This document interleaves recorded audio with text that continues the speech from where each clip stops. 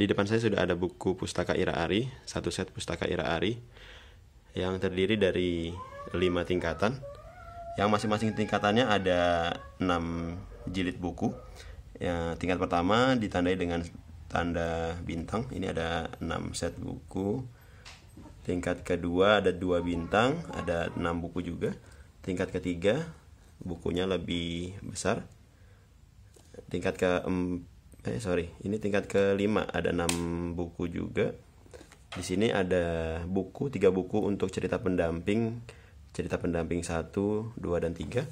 Yang di sebelah kiri di sini ada buku tingkat keempat, yang secara ukuran dia lebih besar dibandingkan yang lain.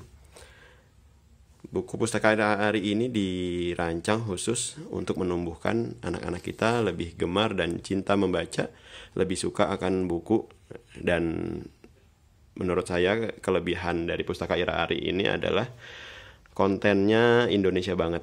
Kita akan mengenal di sini uh, pulang kampung atau pergi ke kampung halaman, pergi ke rumah nenek, uh, bermain di sawah, terus pergi ke sir sirkus yang memang secara konten atau isinya itu menurut saya Indonesia banget.